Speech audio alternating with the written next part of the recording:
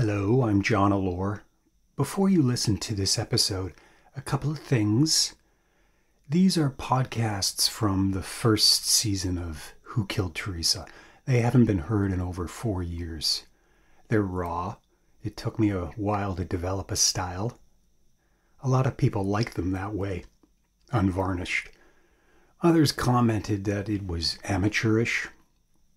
Nonetheless, here they are, unedited I haven't gone back and listened to them, I haven't cleaned them up.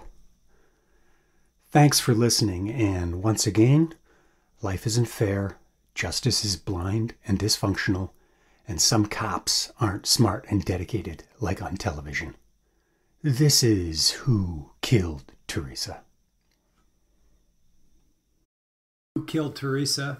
I'm your host, John Allore.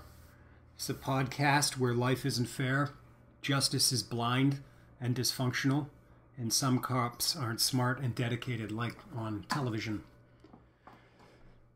Theresa Allore was a 19 year old Canadian college student who disappeared on Friday, November 3, 1978, from Champlain College, Lennoxville, in the eastern townships of Quebec. Five months later, on April 13, 1979, her body was discovered in a small body of water approximately one kilometer from her dormitory residence in Compton, Quebec.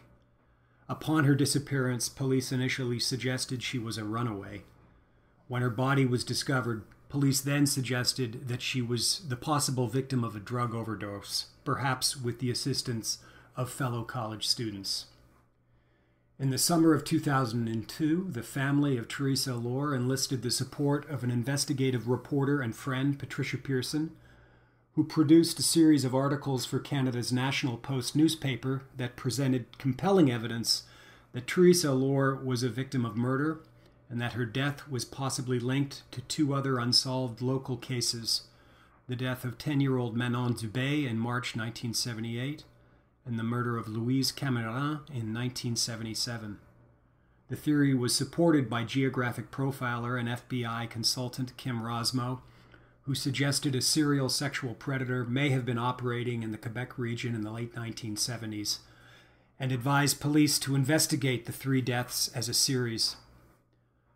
Rossmo later gained notoriety when, in 1998, he suggested the Vancouver police create a serial killer task force to investigate the multiple cases of missing women from Vancouver's downtown east side. Robert Pickton was eventually arrested and found guilty of six murders though he was accused of and implicated in an additional 26 murders of Vancouver missing women. The deaths of Theresa Allore, Manon Dubé, and Louise Cameron remain unsolved cold cases. The investigation continues, and 15 unsolved murders from 1975 to 1981 have been geographically identified as possibly being associated with the original three cases. And the 15 additional cases are Sharon Pryor, Lee Choquette, Louise Cameron, Jocelyn Houle, Chantal Tremblay, Joanne Dorion, Helen Monast, Catherine Hawks, Denise Bazinet, Manon Dubé, Lison Blais, Theresa Allore, Nicole Gaudreaux, Tammy Leakey, and Joanne Lemieux.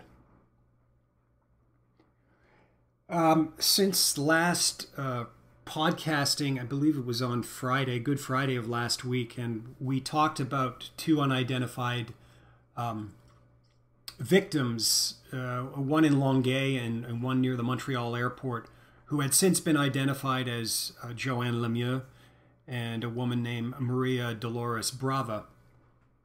Uh, funnily enough, right after I published that podcast, I got a phone call from a police source in Quebec.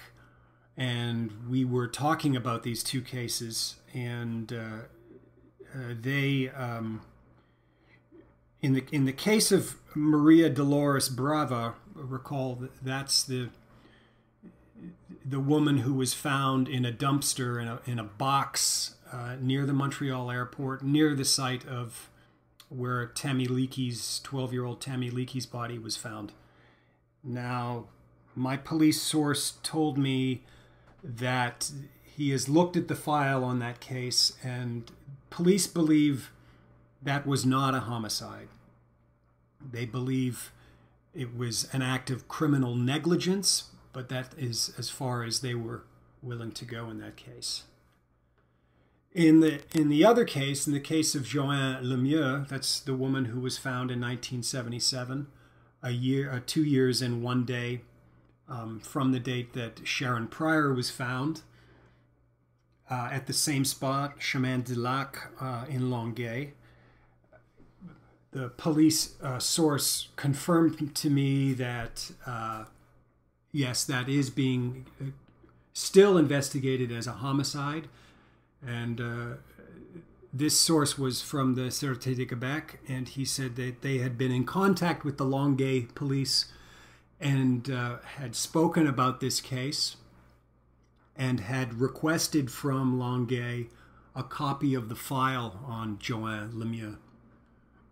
Wouldn't go into details about what that was about or why the Sûreté de Quebec was looking at a case that was not in their docket, but Nevertheless, that is the information that I was given. Loose ends. So I want to I want to add three remaining cases um, to the ones we've discussed, and then i am going to attempt to summarize some things about them. Um, this, um, in a way, does mean that we come to a conclusion with this. Uh, these these cases. But uh, as somebody asked me the other day, they said, "Well, does that mean you're going to stop podcasting?" Far from it. There's lots of other things we can discuss, um, and also um, new information always comes in, so the story changes. And I think after 38 to 40 years, you can always kind of reframe these things, see the narrative from different perspectives. I know that my um, my thoughts on it shift and uh, kind of uh, percolate and change uh, as, as time passes. So I, I, really don't have any intention of, stopping, I'll stop when I have nothing left to say. Um, but anyway, uh, the cases I'd like to add. So the first one I'd like to talk about is uh, a case of a young woman named Lise Choquette. And uh, Choquette um, lives in the east end of Montreal. Uh, and in April on uh, April 22nd, 1975, her body is found in Laval. Now, to give that a little perspective in terms of time and place, what that means, 75 should should ring uh, familiar to you as the year that the Sharon Pryor case occurred and East End should ring to you because that's that's the area where there was we have those cluster of cases involving Denise Bazinet disappearing um, from a street corner. Recall that she was the waitress at Saint Hubert Barbecue, found at Saint Jean Richelieu. Uh, that's also where Lison Blais was um, uh, murdered in her backyard, stabbed. Um, and also the case of Jocelyn Houle disappearing uh, while a night out with friends um, at the Old Munich. In the case of Choquette, so this is April 22nd, uh, 75. Uh, she, she, as I, I, say, she, she lives in the East End, um, and her body is found in, in Laval. Uh, she's 30 years old, 5 foot 1 inches, 141 pounds. Uh, she's found beaten and strangled. There's no alcohol in her system and she um, she's been strangled with a necktie around her neck, a gray and black, uh, a gray tie with black circles, uh, and the label is Caporchichi. Clothing is found about uh, 200 feet away. She has no ID or jewelry, although police know that she was wearing a, a, a ring at the time of her disappearance. And uh, she lived at 2247 Rue uh, La Riviere, which, um, funnily enough, is uh, it's, of no consequence. It's of interest. That's one block away where the uh, Sûreté de Quebec's uh, headquarters are on Parthenais, near the Jacques Cartier Bridge in uh, Montreal. And to kind of orient yourself, where she lives is about a 10 minute drive from where Denise Bazinet and Lison Blais lived. Um, and again, the, the cases the case is never uh, solved. Where she's found in Laval is in a construction site. It's where they're they're building. I, I believe it's the auto route 440, and that was under construction. And she's found by a construction worker there. Now, another case I want to kind of add on here. Um, it, it's it's merely a disappearance. We jump forward two years, June 27th, 1977, and a teenager by the name of Sylvie Doucette, five foot four inches, 120 pounds. She disappears from her home or near her home, which is 3634 uh, Rouen Street in Hochelaga. Hochelaga is the East End, but I'd say I'd put it at about 20 blocks further east from where the case we just talked about, where Lee Choquette lived. So again, we're getting this cluster of East End cases. And now the final case I want to add is the case of Nicole Gaudreaux. Gaudreaux is 31. She's five feet tall, 95 pounds. And on August 3rd, 1979, uh, she's found in a field about a block away from her residence at 2032 Rue Saint Andre. She's found naked on her back, uh, raped, beaten.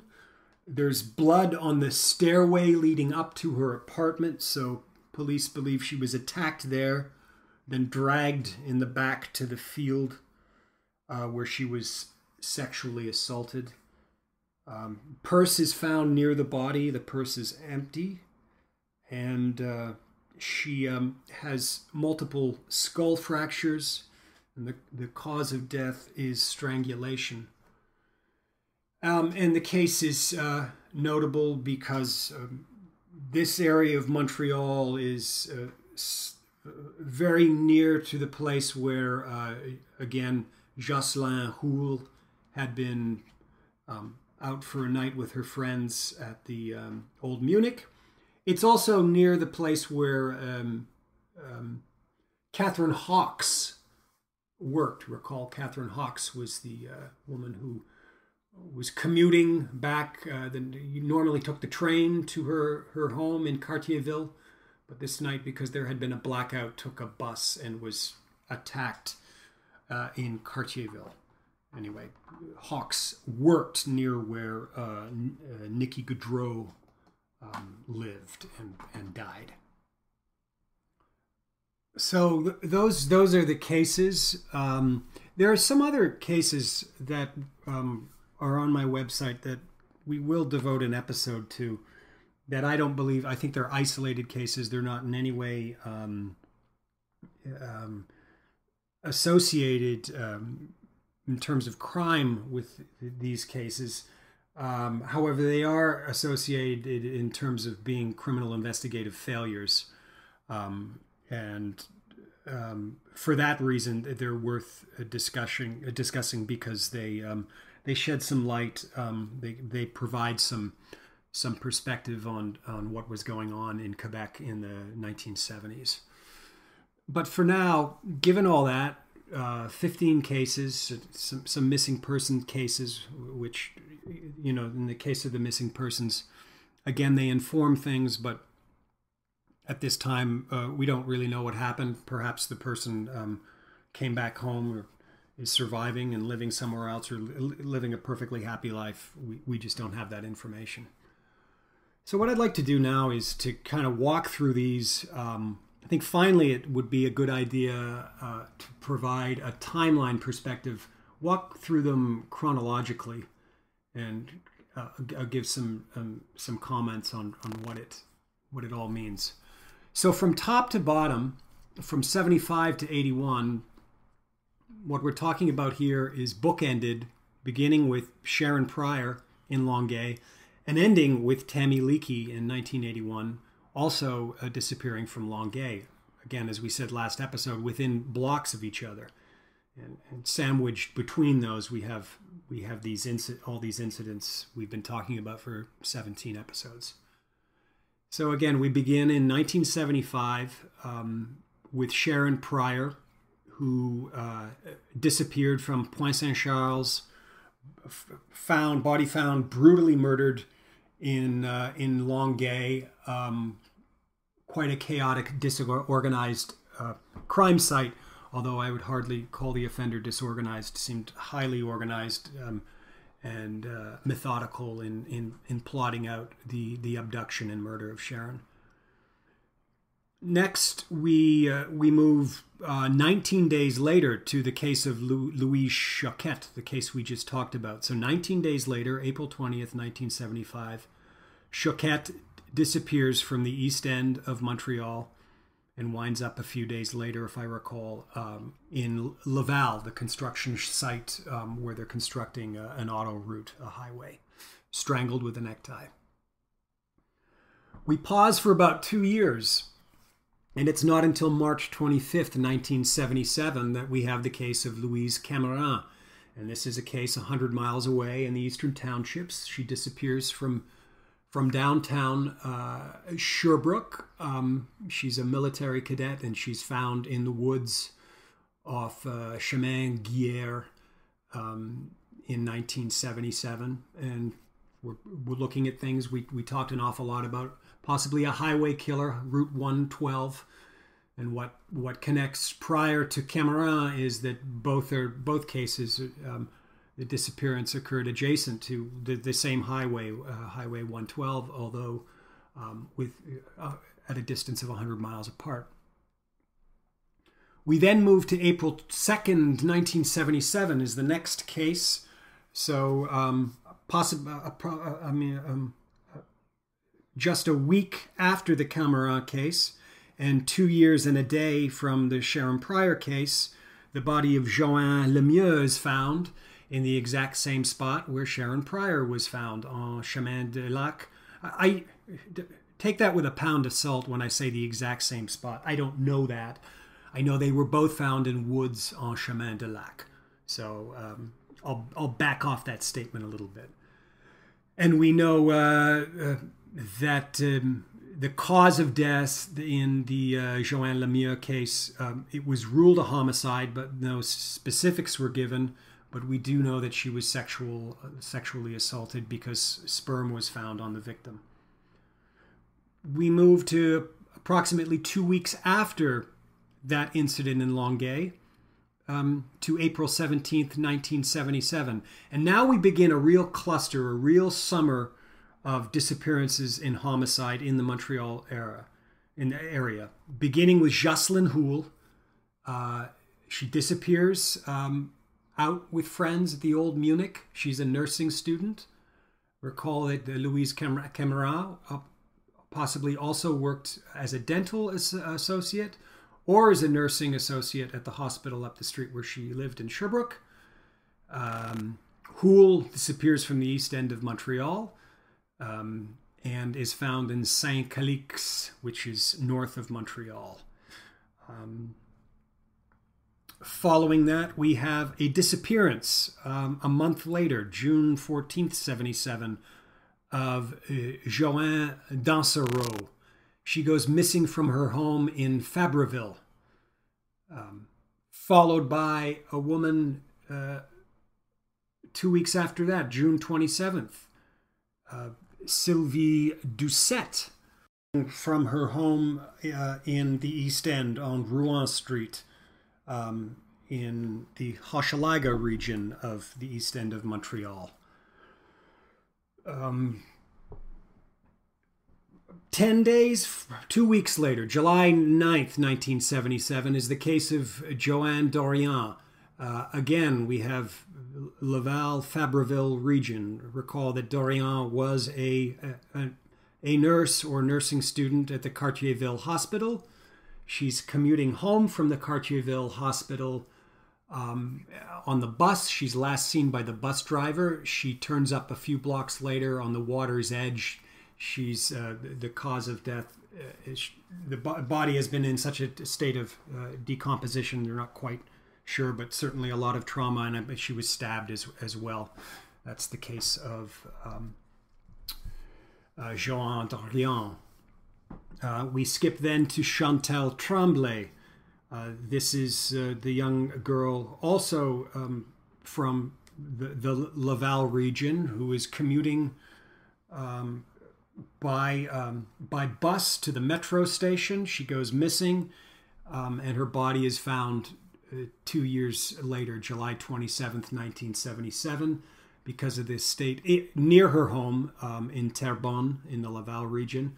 Because of this state of advanced decomposition, they don't know how she died, but her clothing is found adjacent to the body.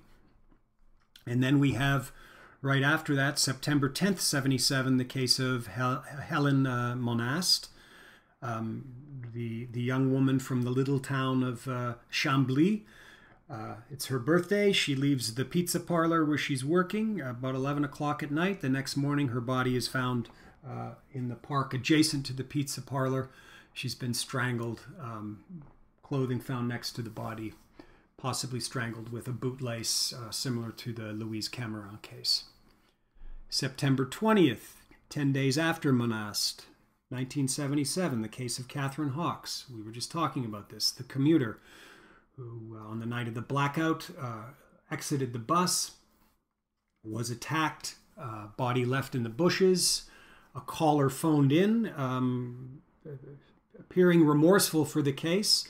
Police failed to arrive uh, on the scene until 22 hours later. We know that Hawks was alive when the caller called in, um, and but as the uh, probably died in the night as a, a result of, of her, her wounds and being exposed to the uh, elements. To just kind of backtrack there, uh, what I find interesting is, is, in in terms of time and place, the the Dorion, Tremblay, um, Dansereau, and Hawks cases all play out very very quickly. Dansereau from Laval, June fourteenth, seventy seven. Um, Dorion, the Laval region, region July 9th, 77. Chantal Tremblay, again, the Laval region, uh, July 29th, 77. And then finally, Hawks, September 20th, 1977. Not in a, a Laval um, a connection, but a Cartierville connection. She lived in Cartierville. Dorion worked in Cartierville and Tremblay would have needed to had to commute through Cartierville in order to take the, the bus from her home in Laval to the metro station where she was heading. October 23rd, 1977. So this is roughly a month after the Hawks case. We have Denise Bazinet. Again, Bazinet uh, works at a Saint Hubert barbecue. She disappears uh, in the in broad daylight afternoon in the east end of Montreal. She winds, uh, winds up at the side of the road, uh, Saint Jean sur Richelieu. She's been strangled. Uh, one shoe is on her foot, clothing scattered near the body. Location is just south of where um, the um, just south of Helen Monast's case in Chambly. January 27th, 1978. So we pause there for a couple of months uh, and move into the new year of 78. The case of Manon Dubé back in Eastern Townships. Again, a child, 12 years old, disappears. Um, and uh, a couple of months later, she's found encased in ice um, uh, in, just south of her home in Sherbrooke, Quebec. Back to Montreal now. Um, but again, there's a pause of several months. We, we wait until June 3rd, 78, and this is the case of Lise Blais, the east end of Montreal. Uh, she's murdered while coming back from a disco, um, um, bludgeoned and strangled in her backyard of her home where she lived with her parents. Um, another pause. We pause all through the summer of 78, and uh, it's not until November 3rd, 1978, that uh, my sister Theresa Allore goes missing from the eastern townships. She's later found five and a half months later uh, near her dorm residence. Um, cause of death at that time is undetermined. Later, comes to be revealed that there's a coroner's document that says that the coroner noticed marks of strangulation around her, her neck. We will skip the case of Maria Dolores Brava because police now say it's criminal negligence, but uh, let's throw it in anyway. Why not? Um, when have they ever been right? June 2nd, 79. Um, so again, a long pause. We're, we're, we're getting uh, breaks in the timeline here, and this unknown victim is found um, near the Dorval airport in a dumpster. August 3rd, 79 is the case of uh, Nicole Gaudreaux. Again, she's attacked um, on the staircase of her, her home, dragged to a field where she's um, stabbed, strangled, raped, murdered. August 3rd, 79. And finally, what I called the coda. We, we started in Longueuil, we, um, or in, in, in Pointe Saint Charles, we end in Pointe Saint Charles. The case of Tammy Leakey, uh, a young 12 year old girl disappears from Pointe Saint Charles when she runs to get milk um, and candy bars. Um, and she's found about an hour and a half later, um, 20 minute drive when Pointe Saint Charles near the Dorval airport. March 12th, 1981. Um, case of Tammy Leakey. To um, round out all the cases we've been discussing about for these past 17 episodes. Trying to put all this together, uh, what do I think? I think I think geographically there's some interesting things to look at as as the first thing we have we, we ever talked about uh, was uh, this uh, Highway 112 uh, series of cases, uh, and I, I, don't want to put too strongly a point on that. I'm saying it if if we're if there is a connection between the Theresa Allore, Louise Cameron, uh, Helen Monast, Denise Bazinet, Sharon Pryor cases, if there is one, then I think what possibly links them and, and should be looked at is the travel corridor of Highway 112 and, and um, the unique characteristics of all those cases that may inform uh, why an offender may have been using that route at that time. So there's a cluster. There's a second cluster that we just talked about, these Laval cases that curiously all um, converge uh, in Cartierville so linking uh, Tremblay with uh, Joanne Dorion, with um, with Catherine Hawks possibly, and possibly somebody um, uh, possibly using the commuting system of the subway and metro to stalk people, or not. Who knows? Possibly also could be someone with a vehicle.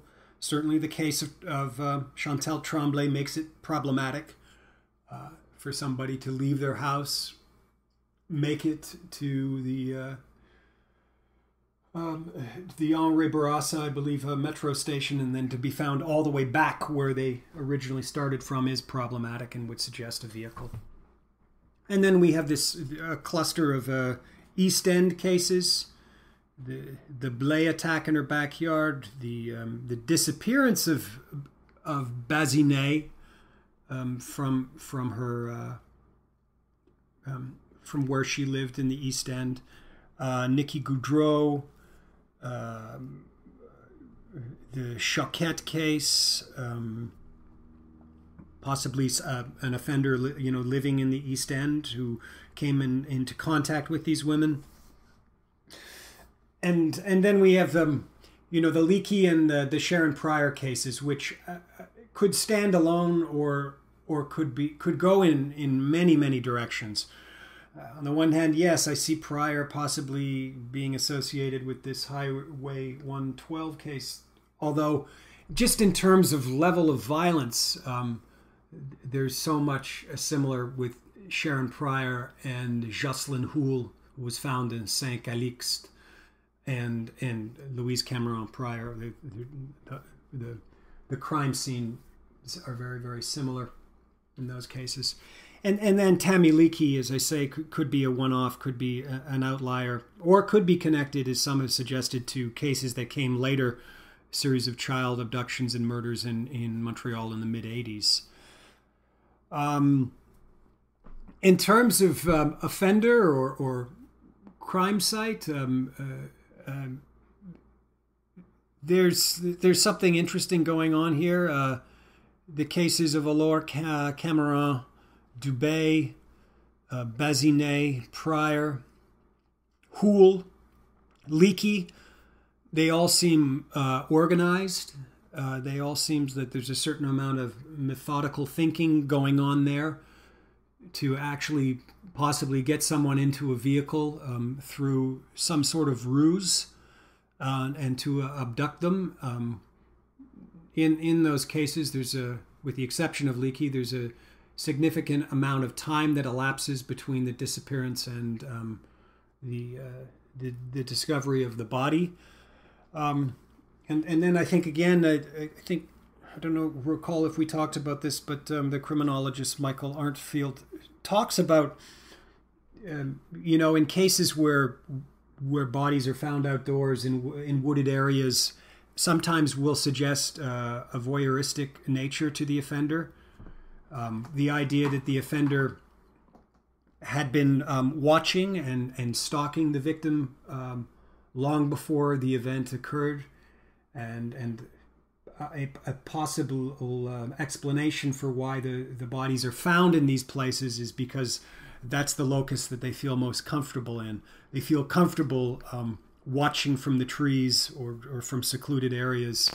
And so when they come to to actually uh, committing the uh, the offense, it just feels natural uh, for them to to dump the victim in in in these geographic regions.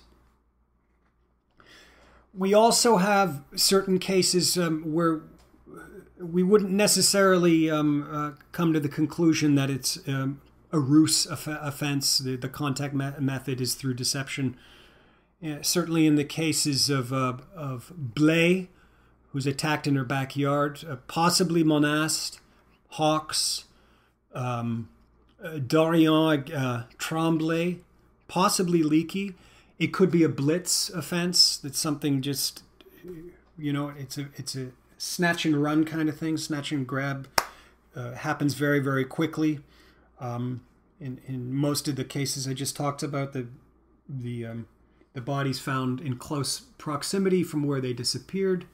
Uh, consider Monast, consider Dorion, consider Hawks, um, consider Blais and, and that, that there's not a possibly a disorganized offender that these things possibly oh, and certainly throw into that the, the last case we talked about um, Nicky Gaudreaux again very quickly a blitz. Definitely in that case um, and this is a possibly a dis, disorganized offender who just um, acts on impulse at, at the time there's not a lot of premeditation behind it it's not the idea of somebody stalking or or premeditating um, how they're going to commit the offense. It happens very, very quickly, and in and certainly in some cases, it, it there may be a, a, variety of, of motives around it. Uh, again, very impulsive. There's there's sexual uh, nature to it. There's there's the the compulsion to commit assault, but also petty theft. Uh, in the case of uh, Choquette's ring being uh, uh, being stolen, in the case of uh, Gaudreaux's uh, purse being emptied. Um, there's also these these these secondary um, activities going on. And then finally, you know, to, to to add to the confusion over how how to categorize all these cases, we we have um, um the reality of police uh, jurisdiction and which agency was um, had the authority for for which of these crimes. So in the case of the SQ, we have Allore, Camirand, Dubé, um, Monast, Houle, Tremblay. In the case of the Montreal police, we have Lison Blais, we have Catherine Hawks, although at one time that was a, a RCMP case. We uh, we uh, have, um, um, excuse me, Tammy Leakey. In the, in the case of uh, Laval, we have uh, Choquette, and then in the case of Longueuil, we um, we have the um, Joanne uh, Lemieux case, and and and and of course we have uh, Sharon uh, Sharon Pryor. Um, and as we've talked about for a long time here, um, uh, the nature that all of these cases, I would, uh, after 40 years of atrophied, how could you not consider these as criminally criminal investigative failures? And despite the um, the lip service that agencies pay to the fact that they cooperate and they talk with each other, I don't I don't see much evidence of that in any way. What does it matter anyway? The time for cooperation was the the time of the event and and the ensuing 48 hours, let alone 48 days. We're approaching 48 years in some cases here. So. Um, um, certainly um, would encourage uh, cooperation this this late in the game, but uh, should have been done a, a, lot sooner. Days of nothing. That's what it's like working cases. You're looking for narrative, establish a timeline, build a story day after day. I'm going to switch gears here for um, a bit. Um, a couple of weeks ago, someone pointed out to me uh, that the Canadian federal government was uh, doing a job search. They're looking for a federal ombudsman for victims of crime. And did I have any interest in applying for the job? Um, which um, I found quite preposterous. Um, I find um, I get more done working from the outside than, uh, and and and quite quite literally from the outside, being being uh, in the United States, outside of Canada, I I wield a certain amount of power by the fact that I'm not there, which is very advantageous. Um, and and besides, um, victims' issues at the national level um, is is not really currently my my area of focus. My my focus is squarely on Quebec and um, and cold cases and cold cases have yet to be processed in any justice system. So they they sa- they stand outside of um, the justice process. Um, so what advantage would it be to me to become a federal ombudsman um, at the national level in Canada um, when that office has little to no influence on on cold case issues. But a little a little history of, of this office. There was a time I was quite um, involved in victims' issues at at the national level. I'd say for about three to five years, um, I kind of got pulled in. Um, I got pulled in. I think we talked about this. Uh, the uh, uh Justice Canada's um, Policy Center for Victims Issues, I believe it was in 2003, hosted a national conference um, which they they called "Lessons Learned from from Victims of Crime." And uh, I tried to get on the agenda because I, I, think at that time Theresa's case was 25 years old, and I said, "Hey, this is this is great. Why why why don't you have me there?" And they, they would have nothing to do with me. And in fact, I think I I scared them. Um, I was very naive at that time. They were telling me, "Well, Mr. Allore, we we have several NGOs there who will be representing your interests." To which I replied, "What's an NGO?" I, I really, I, I didn't know. I had no idea it was a non-government agency. Um, but that's kind of to the point. I quickly realized that this this conference where where everyone was going to be learning from the lessons of crime victims um, had little to do with crime victims. In fact, few of us were invited to the table. or or those that were invited had sort of been had come in under the fold. You'll see this a lot. Victims get damaged through the the justice process. There's divorce, there's substance abuse, there's loss of employment, and the next thing they, they find themselves on their ass um, looking for opportunity, and the only thing that they know is their cause. God, it sounds like me. it's not. It's not. So they, you know, so they turn then to the non-government agency systems, and in some way or other, they become a process handler. They involve, they get involved, and in some cases they do very, very good work. But I would argue that in some cases, some people become compromised. Um, so this, to my taste, this conference had an awful lot of that flavor for it. Um, a lot of uh, bureaucrats, fonctionnaires, NGOs all getting together to talk about what they thought is is best for the plight of victims. And yeah, I, I, guess you don't want a whole lot of victims around the table. We can, as I, you, you can tell from what I just said, we can be a, a, a feisty and or, ornery uh, lot.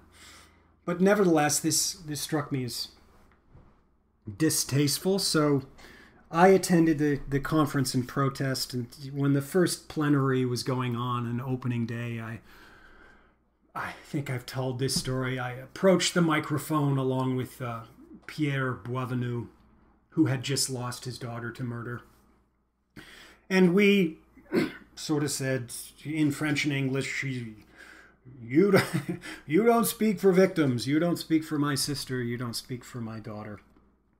And it was shortly thereafter that I was uh, approached by several people um, who wanted to bring me into the fold. Um, and so initially I thought this was really great. So that's how I sort of got first involved with um, with victims issues at the national level. I was um, a founding member of AFPAD, which is a Quebec organization, Association, Association de Familles uh, the um, what is AFED? It's for, for murder victims and, and, missing persons victims. Um, and then uh, I was involved um, in creating a new um, national victims organization called the Canadian Association for Victims Assistance, whose uh, acronym was CAVA, which uh, we we should have we should have come up with another uh, acronym or you know another name. I think uh, um, when people think CAVA, the first thing they think about is not victims. Um, um, in, in, fact, what cava is in the world of, of, wine and spirits, I think we were the the exact opposite. We were something that would really you know, sober you up fast anyway, um, I think we were around um, for about two years, two conferences, one in Toronto um, and one in Vancouver, um, before we self imploded and dissolved. And the, the reason we dissolved um, are the same reasons that in anything dissolves, but particularly in why the center cannot hold typically in, in Canada is Ontario and Quebec and the West couldn't get along. We couldn't agree on anything.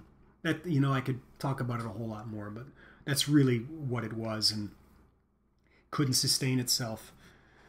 and then, and then for a while, I was involved with NOVA, the National Organization for Victims Assistance. That's the national organization for uh, victims in the United States. I went to a couple of conferences. I am. Uh, you know, I spoke or presented at a couple of conferences, but again, um, I quickly found the whole thing to be really, really um, distasteful.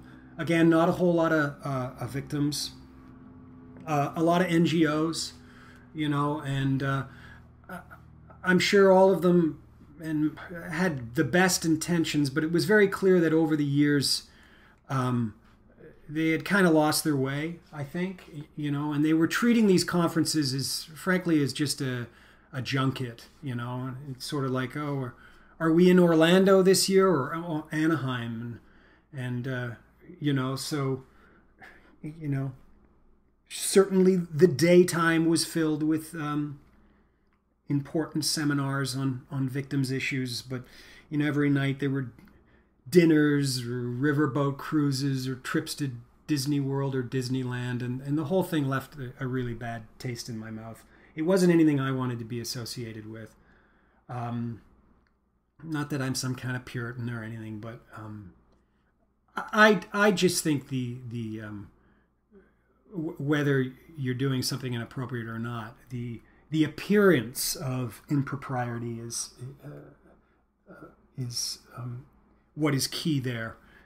and I would never want to be um, representing victims of crime, people who had experienced some of the the most uh, horrible psychological trauma, um, you know, and then staying in a fancy hotel and eating a fancy meal. It's just not for me.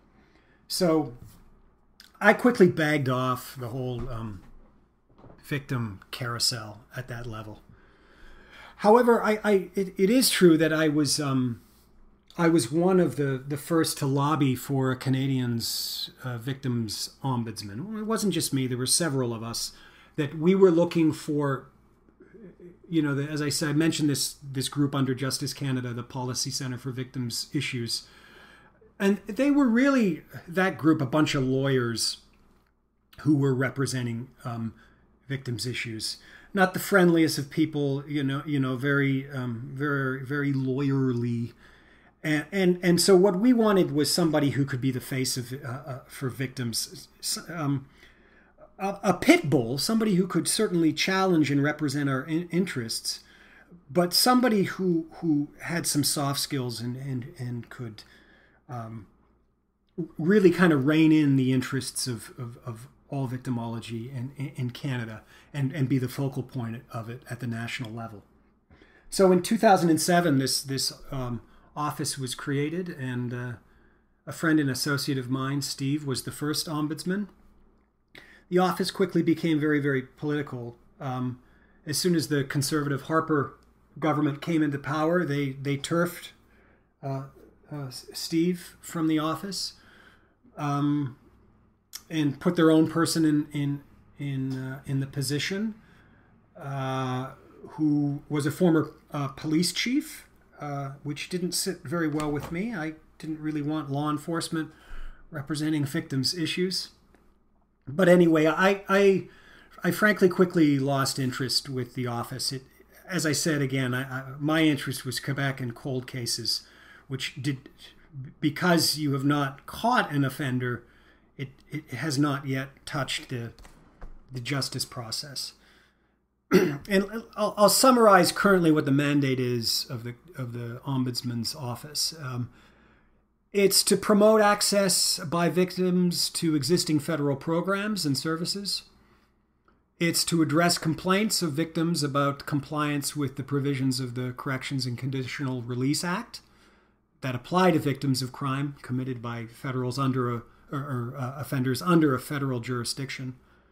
It's to promote awareness of the needs and concerns of victims and the applicable laws and benefits victims of crime, uh, including to promote the principles set out in the um, Canadian Statement of Basic Principles of Justice for Victims of Crime.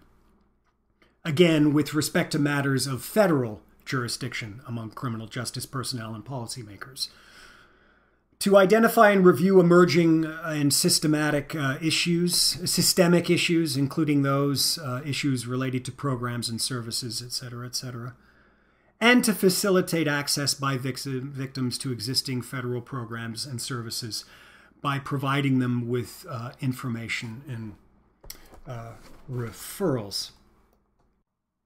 Now, if you don't know, uh, this week, um, uh, Canada celebrated the 35th anniversary of the Canadian Charter of Rights and Freedoms.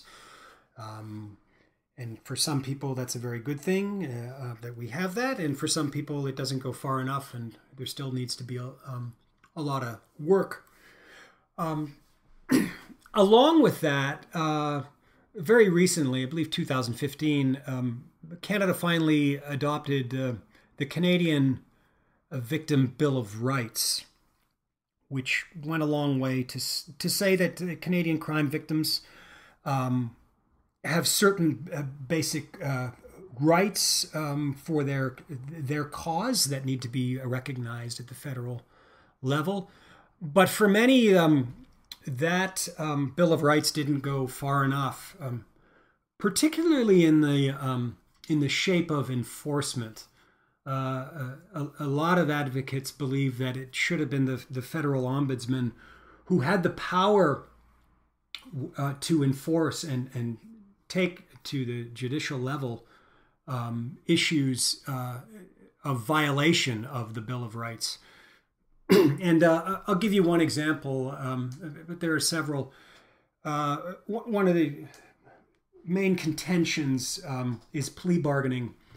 Uh, what of the case where a, a, deal is cut with an offender in the judicial system, but the victim isn't involved in, in the, the negotiation or, or discussion? At a very um, conservative level, victims have argued they should at least be able to weigh in and consult on the matter. And others feel would like to take a, a step further and say they should have the, the final say in, in plea bargaining arbitration, which is certainly that's a little far to go that far. But certainly in the case where, where plea bar, bargains are done um, and the victim isn't consulted, some believe that the ombudsman should should have had the power to be able to to to, to then act uh, as a as an enforcement arm of uh, the um, the justice minister in the Canadian government. Now, keep in mind, all of this again only touches the federal level. So, if I were to give you, let's let's have a very personal example. Um, an offender in prison comes forward and says, uh, I, I know what happened to Theresa Allore, and I will tell you what happened if you'll grant me clemency in that case and other murders that that I know about. Should not, you know, should not the victim, my family, be able to weigh in on that? and regardless of, of my feeling on that, whether my feeling was, you know, I can see two things. One take would be, I don't want to know what happened, happened. Let them rot in prison. And the other take could be, I'm all for um, restorative justice. Yes, I, it's better to know. Let me know what happened and then grant them clemency. Well, of course, all of this does not fall under the Charter of Rights and Freedoms or the, the Victim Bill of Rights because we're talking about a provincial matter Quebec prisons, Quebec justice system. Um, and as far as any of us can tell, in, in these cases, the only the only um, instances where that kind of scenario would apply at the federal level, I suppose, would be cases involving the RCMP or possibly some military um, cases. But but any anything in the courts uh, for just just looking at my locus of interest, uh, murder, there is no Bill of Rights protecting them, and and if you want one, um, you need it adopted um, for each province and each of the three territories. So that's that's just one example where you know, looking at the mandates of the uh, the ombudsman of crime, the worry there, it, it you know, it seems pretty soft. You're you're to promote uh, awareness. Uh, you're, you're, to make victims aware of programs. Uh, you you stay abreast of emerging issues. Uh, you know, more specifically, if uh, inform the victim uh, of parole hearings, uh, provide them with monetary um, uh, subsidy so that they can attend a parole uh, hearing, allow them to uh, um, submit victim impact statements, these kind of things. Um, so you're the you're the spokesman, but some have um, some have questioned uh, the direction the ombudsman's office has gone in the last 10 years since uh, its initiation in 2007 where some wanted a, a pit bull, um, some have argued that what they've ended up with is a is a lapdog, um, someone who uh, is is a is a talking head and spokesman for victims' right, but rights, but with with not uh, a lot of uh, ability to um, to impact and influence change in in the justice areas that uh, would touch uh, victims of crime. Nevertheless, um, when I looked at the job description for the uh, federal ombudsman position, um, I found that I was uh, pretty pretty qualified for the position. My education experience, I have a master's in public administration with a, a concentration in justice administration. Um, they were looking for someone with significant um, finance and budget experience. Um, my 20 year career has been uh, in budget and finance at the local government level. They were looking for somebody with significant experience in Canadian victim advocacy um, and, and clearly um, founding uh, CAVA and AFPAD or, co-founding those those um, those organizations. Uh, would demonstrate that. I'm also currently the vice chair for a group called uh, LINK, which is long term inmates now in the community. This is a project, um, well, its, its foremost project is something called Emma's Acres, where they help former offenders and victims reintegrate into the community through um, farming practices. So I, I, I, stay involved with that. That's located in Mission, British Columbia. Um, it it, uh, it asked if I had significant experience uh, with government best practices. I do. My whole life, I've worked in strategic planning, performance measurement, and management, priority and program based budgeting, and uh, multi year financial planning. It asks for experience in the management of complaints functions and review functions or an investigative function. And I would cite that uh, my work at the local government level um, involves a significant amount of um, engagement with the community through processes um, such as public hearings and community meetings, charrettes, digital town hall meetings, um, uh, resident surveying, social media platforms, etc. So, I guess what I'm saying is uh, I have applied for the position to be the Canadian Federal Ombudsman for Victims of Crime. It's a three year appointment. I'd have to move to Ottawa. There are significant challenges and obstacles uh, to um, to becoming the head of that position. But nevertheless, I thought, why don't we start the process and then we'll uh, we'll confront those challenges when we confront them. For now, uh, the next step would be to get an interview. I don't even know if they will interview me. That's out of my hands right now. Uh, but nevertheless, um, I put my best case forward uh, for being the best candidate for that position, and I will give it my very best effort should I get um, an interview. And then anything um, that might come of that afterwards in the process, um, I will consider at a time that I have to consider it.